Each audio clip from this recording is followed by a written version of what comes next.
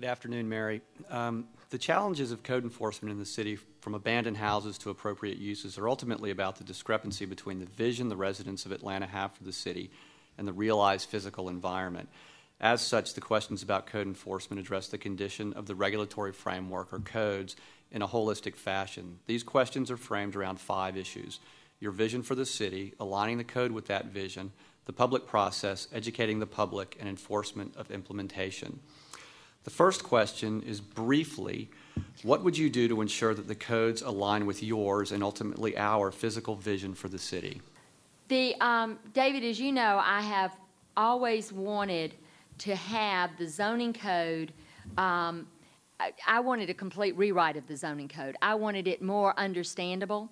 And, you know, an example is when uh, we had the infill issue, and you really had to bring in um, the architects and builders and renovators to look at the code to be able to decipher what needed to be adjusted. So it has been a difficult code. Um, and during that process, one, the Home Builders Association came up with their suggestion, which I thought was pretty magical. They said, if, it, if the plans, if what's being built doesn't conform to the plans, not just a technical change, but a material breach, you tear it down. If you, if you demolish without a permit, you forfeit your right to build. Now, that's really tough love, but you and I both know that we do cat and mouse all the time. And so, people who are obeying the rules and playing by the rules, they can't get their projects through because you've got the cat and mouse of people that are not obeying the rules. So, so what specifically then would you propose um, as a strategy for reorganizing the codes? I need to get a group in to take a look. Can we do form-based coding?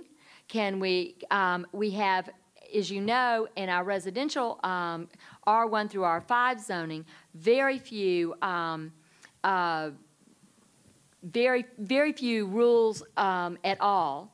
And then when you get to your LCI districts and your historic districts and other districts, they have trem- uh, a tremendous, or in SPI districts, they have a tremendous amount of overlay of, of rules and, and design criteria and whatever. So I am interested in having a new commissioner of planning and development who can tackle that because we know what we want to see. We know, you know, you know it when it's right, but if you're not a professional in the field, it's awfully hard to read the piece of paper and know what it's going to look like, know what the elevations are going to look like. And that's interesting because you've uh, described the, the idea that you'd put a task force in place, and I personally have experienced that several times in the history of the city of Atlanta, and they rarely come to fruition that we see. So, what would be different about the task force that you would set up from previous task force that have addressed this issue? Well, as you know, when, again, going back to infill, which is the, the um, instance that I had, when the when the six groups of professionals um, under the American Association, uh, the American Institute of Architects, uh, when they came together to look at the infill um, issue, they came up with the with the solution in six weeks. And so from March 15th to, to the end of May, they came up with a solution. And they drew the elevations, and it was seven different, pretty specific. You know what I'm talking about the the the new definition of basement and attic, and the and the grade line, the grading, and and so what was interesting about that is it took another year for me to get that that legislation out of the planning department. It broke my heart because we lost a whole year. Now, when I finally got it out of the planning department, so I think it's politics, is what I'm saying. Mm-hmm. The reason they haven't worked is politics.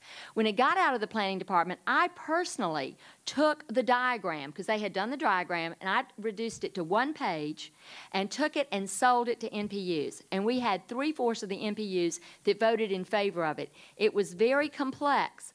And and what the planning department said is, Mary, we get a lot of legislation that comes to us from council or the administration. Seldom has anyone been the spokesperson that you were to go out, explain it in a way that the NPUs could understand it. They were comfortable with it. They voted for it. It passed council unanimously. And so that's my real life. And that's, uh, that leads to my next question. Clearly, you think we can create a more transparent and efficient me- method for code and zoning review, but how would you actually implement that? In that case, you went to each of the NPUs, but you won't be able to do that as mayor. So, what will the structure be to allow that to happen that will be different than what's currently or has in the past happened? Well, I think we have to require that, you know, if you want to, um, whether you're a council member or whether you're a member of the administration, that you really have to do the one page snapshot. Uh, we haven't done that. I have seen legislation go out to NPUs and they have no idea. So it's, I think it, it starts with making sure that the planning department, those planners that are out in the neighborhoods, that they know what the, the, re, the ramifications and the uh, different salient points are, and that they have it so that they can then spread that information. When I did infill, I did, um, I met with each of the planners in just one meeting gave them my cheat sheets, and so they were also armed. So on the few that I didn't get to, they also voted for it because they understood it. So, if I understand correctly, your goal, your idea for um, creating a, a, system of education for the citizens of Atlanta is really these one-page cheat sheets, or or however you want yes. to describe them. But it is a very complex issue, and I think that there might be some situations where it might require more substantive discussion than a one-page uh, kind of soundbite. In those cases, how would you address the education of the of the citizens of Atlanta?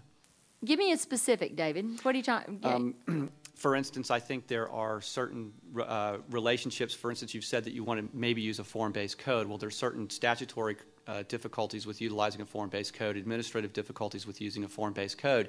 That's a soundbite that people have used in the past, which can cause significant problems if it's adopted. In fact, it's only been adopted in one juris- large jurisdiction throughout the United States at this point.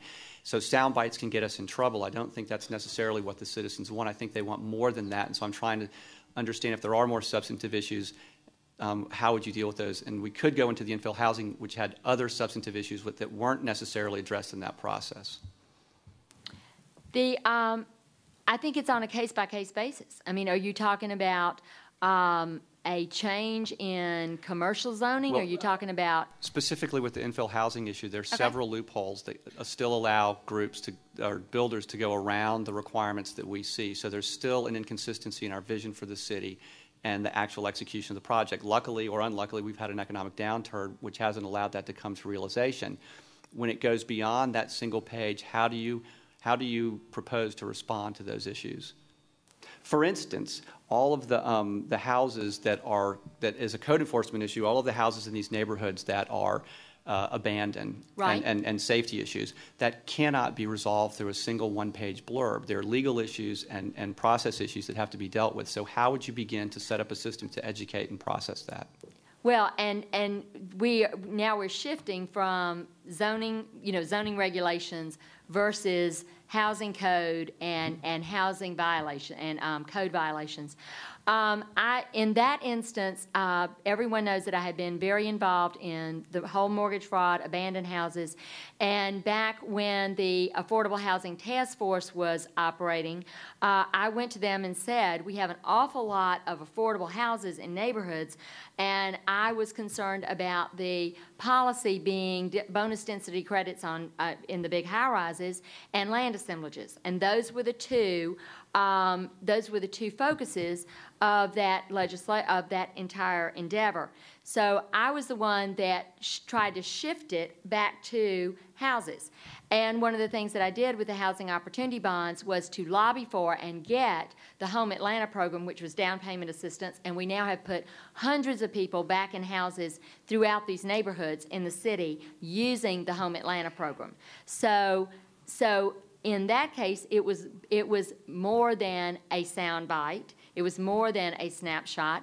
But again, through my communication via the web, my own website, which had a lot of has a lot of information on it, as well as my being involved in communities and out, whether at an NPU meeting or, or in other other arenas, um, being explaining to people what my vision is.